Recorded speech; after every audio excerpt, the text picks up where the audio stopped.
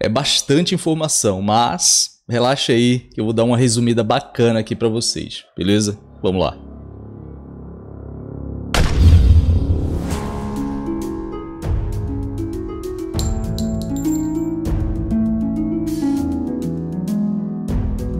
Ok, beleza guerreiros? Eu sou o William Ruff.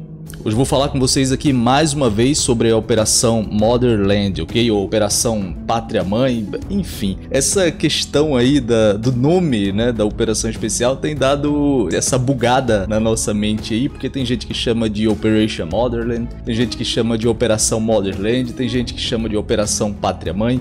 O nome oficial é Operação Pátria Mãe. Acontece que, até sair esse nome oficial em português, a gente recebeu o nome de Operation Motherland e a gente sempre chamava de Operação Motherland. É como era conhecida até agora. Então, normalmente é o nome que fica, né? Porque a gente passou seis meses falando esse nome e aí agora ter que chamar de Operação Pátria Mãe, acho que é meio complicado, né? Um outro bom exemplo disso é a Operação Amber Sky, que eu acho que ninguém chama pelo nome em português, que é Céu de Âmbar, né? Acho que ninguém chama, todo mundo chama de Amber Sky. É isso, né? Meio que ficou como Operação Motherland mesmo. Mas enfim, eu já fiz um outro vídeo aqui falando detalhes sobre essa operação, mas foi uma live, então como eu sei que a maior parte das pessoas não vai assistir a live na íntegra, ou mesmo que tenha assistido, mas não assiste a maior parte dela, a gente sabe, a live tem mais de 3 horas, é, enfim, é um conteúdo um pouco maior. Geralmente quem acompanha é quem está ali ao vivo na hora. Então eu vou trazer aqui uma versão resumida, mas com todas as informações, com tudo que você precisa saber para poder chegar dia 2 de novembro afiado, sabendo exatamente tudo que você precisa saber sobre esse conteúdo, beleza? Vamos lá.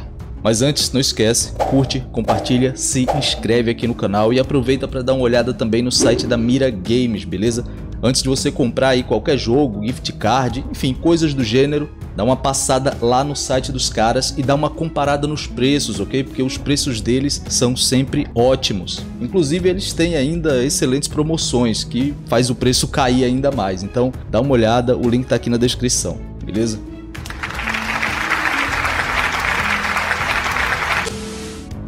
Então, senhores, Operação Motherland. Com certeza você deve ter escutado aí, você, se você joga Ghost Recon ou já jogou, com certeza você deve ter escutado bastante esse nome aí nos últimos dias, né? Realmente tá em alta. Mas eu tenho visto também muita gente com muitas dúvidas sobre essa DLC. Então aqui nesse vídeo você vai tirar todas as suas dúvidas sobre essa nova DLC de Ghost Recon Breakpoint. Tudo isso de forma rápida e objetiva, beleza? Vamos lá então.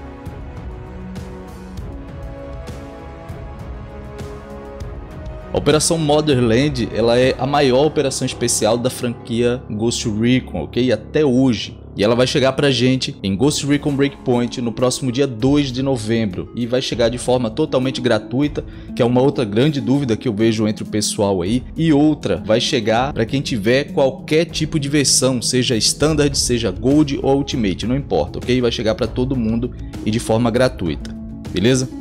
A operação especial Motherland ela vai se passar alguns meses após os eventos da Amber Sky, ok? E aí nesse meio tempo a ilha se tornou um, um alvo estratégico ali perfeito para vários países poderosos, né? Todos eles interessados logicamente em controlar a tecnologia desenvolvida pela Skeltech. E aí nesse contexto a CIA decide enviar a Karen Bowman, né, para poder trabalhar mais uma vez com os Ghosts, como aconteceu em Ghost Recon Wildlands mas agora com a missão de enfrentar as forças inimigas que ocuparam a ilha e entregar o poder aos exilados, que são liderados pela Haruri Ito. Vocês já conhecem também, né?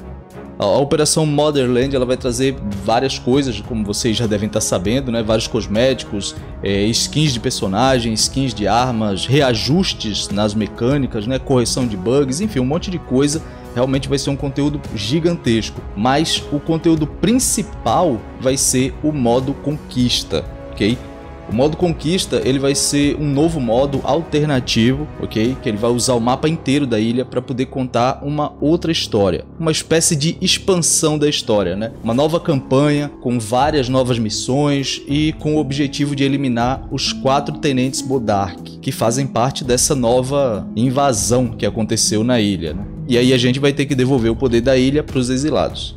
O modo conquista ele vai trazer também as antigas guerras de facções, a Ghost Recon Breakpoint, essas guerras que a gente já tinha visto lá em Ghost Recon Wildlands, inclusive até chegou aqui também na época daquele evento da Resistência, né? Mas acho que numa escala menor. E aí, conforme a gente for conquistando as áreas, né, as áreas que foram tomadas pelos Bodark ali na ilha, a presença dos exilados vai aumentando também ali nas selvas, nos acampamentos, enfim, e eles vão atacar também as tropas inimigas, vão ajudar a gente com a conquista, né?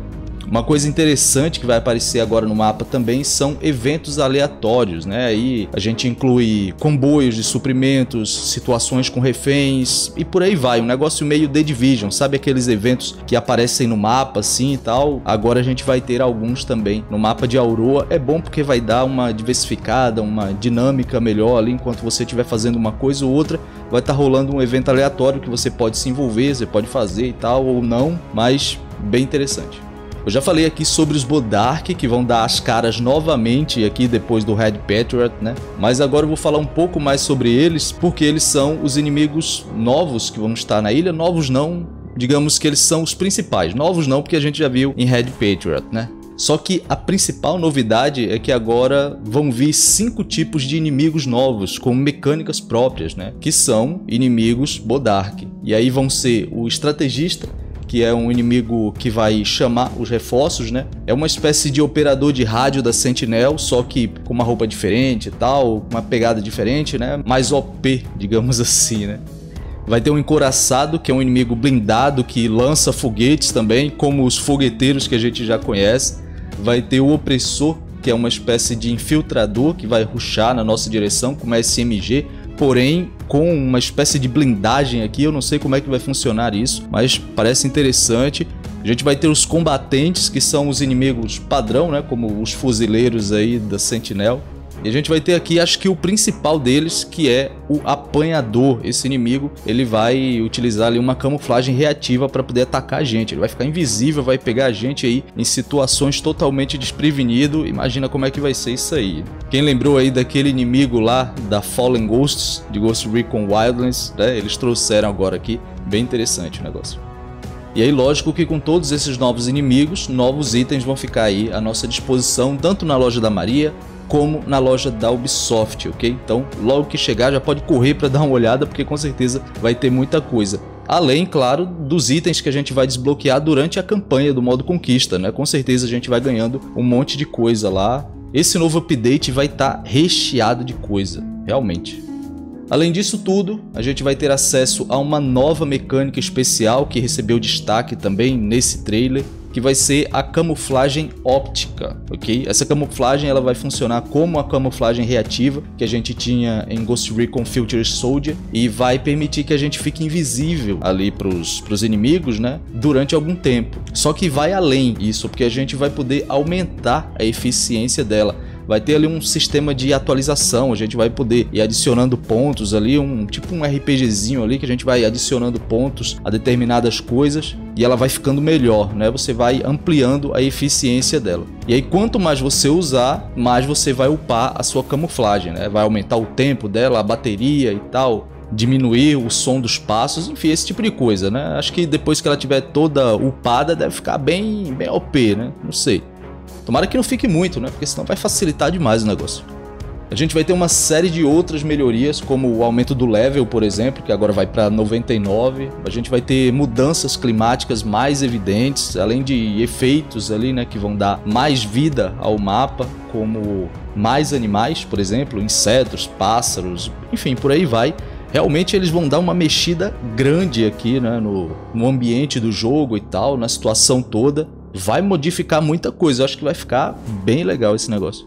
Se vocês quiserem dar uma olhada numa análise desse trailer ainda mais detalhada, né, já que aqui eu passei por cima mesmo só do principal para poder a gente resumir bastante, dá uma olhada na nossa live, a live que eu fiz aqui falando sobre esse trailer, falando sobre todos os pontos, absolutamente, né, pegando ponto por ponto e debatendo com o pessoal, lendo as perguntas e tudo mais, tirando as dúvidas em tempo real. Eu vou deixar no card aqui em cima, ok? Vai lá e assiste se você quiser saber mais a respeito, ok? Eu quero saber a opinião de vocês, deixem aí nos comentários o que é que vocês acharam dessas novidades. São muitas novidades, né? Tá chegando agora, dia 2 de novembro. Lembrando que ainda existem outras coisas que eles não revelaram. Eles disseram que vão ter coisas ali que são meio que como surpresa, sabe? Que a gente só vai ver na hora. Inclusive eu cheguei a comentar que uma dessas surpresas poderia ser exatamente a mecânica de morte permanente, que eu acho que tá faltando nesse jogo. Seria excelente se tivesse, né? Então comentem aí embaixo o que é que vocês acharam, beleza? Sigam-me aí nas redes sociais para poder ter mais informações sobre Ghost Recon e a Operação Motherland, né? além de outros jogos de tiro tático que a gente aborda aqui no canal. Não esquece de curtir, compartilhar o vídeo e se inscrever aqui no canal, caso sejam novos, evidentemente, né? E se quiserem ajudar um pouco mais, tornem-se membros, beleza? Forte abraço a todos, foco na missão e até a próxima.